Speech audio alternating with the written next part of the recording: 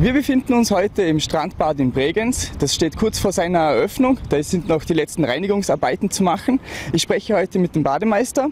Wie viel Arbeit steckt denn dahinter, das Strandbad Bregenz wieder fit für die Sommersaison zu machen?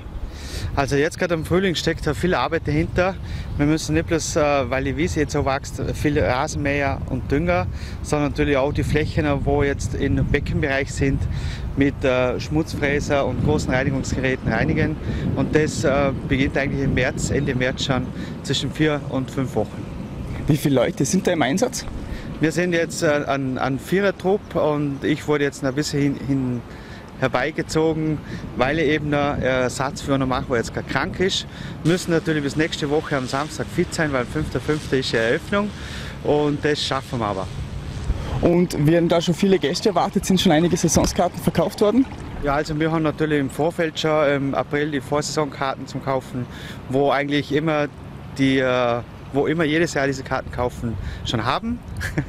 natürlich neue sind wir natürlich immer froh, aber wir sind im Schnitt immer jedes Jahr ungefähr gleich viele, wo wir Saisonkarten verkaufen. Ja, hoffen natürlich jetzt am Wochenende, dass es äh, schön wird. Warm haben wir, ja.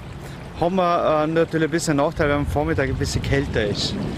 Haben natürlich eine Lösung gefunden. Wir machen jetzt immer das äh, Hallenbad oben von 9 bis 11 offen für die Badegäste, wo aber noch hier zu kalt ist und dann ab 11 ist für den ganzen Mai der Strandbad offen, wenn es schön ist natürlich. Bei Schlechtwetter sind wir im Hallenbad. Gibt es irgendwelche Erneuerungen, irgendwelche neuen Attraktionen für die Badegäste? Ja, Neuerungen haben wir jetzt nicht so. Wir haben halt Umbauten und Änderungen, das schon. Aber sonst ganz neue Sachen haben wir jetzt noch nicht. Nein. Wunderbar, also dann steht der Eröffnung eigentlich nichts mehr im Wege. Ja, genau, so ist es.